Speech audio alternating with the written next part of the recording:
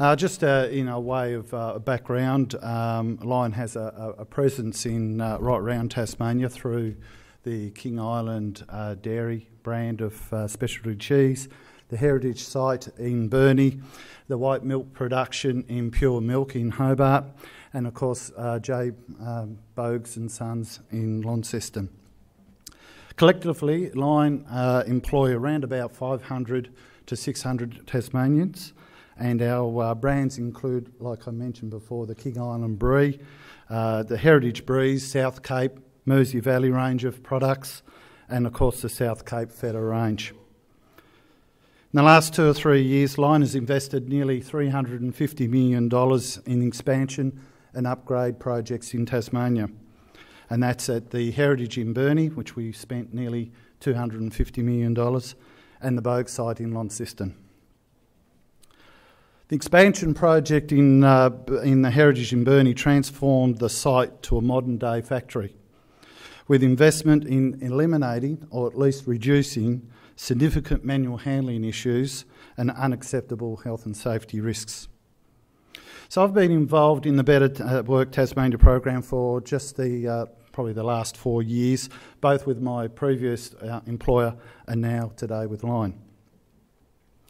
The decision for Lion to join this mentoring program has been a conscious one.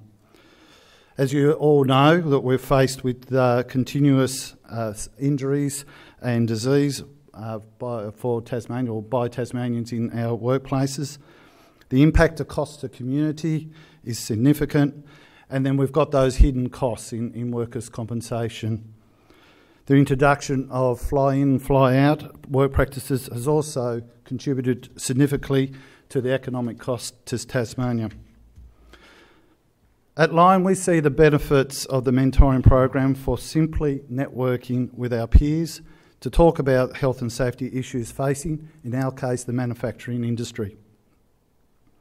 As a large organisation, we strive to manage safety based on best practice for Lion, best practice simply means the better way of doing things.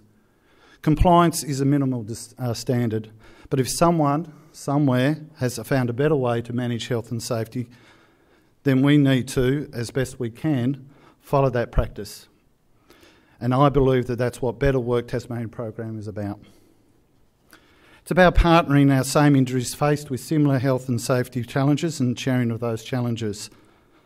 It doesn't matter whether you're small or large or medium, um, as Richard pointed out earlier.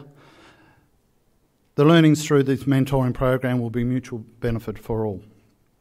In addition, preparing for the future of young safety professionals who will be encouraged to uh, take up this important role to lay the foundation for the benefit of future workers.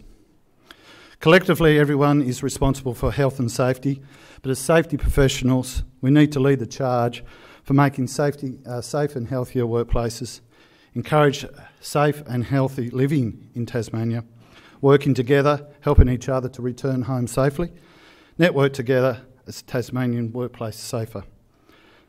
So I encourage every safety professional to inspire to join Better Work Tasmania, particularly the mentoring program, and help us create a safer, healthier Tasmanian workforce. I'd like to finish up with uh, just an important quote from Sir Brian uh, Appleton, who was the safety assessor at the Piper Alpha oil platform disaster in 1988. Safety is not an intellectual exercise to keep us in work. It is a matter of life and death.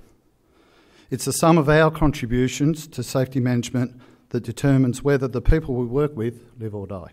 Thank you.